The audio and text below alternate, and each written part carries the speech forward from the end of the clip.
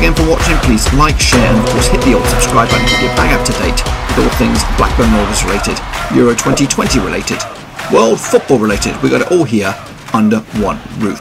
Be sure to check out the links in the old description down below. I'm on Twitter, Twitch, Facebook, and of course Patreon if you want to support the channel in another way.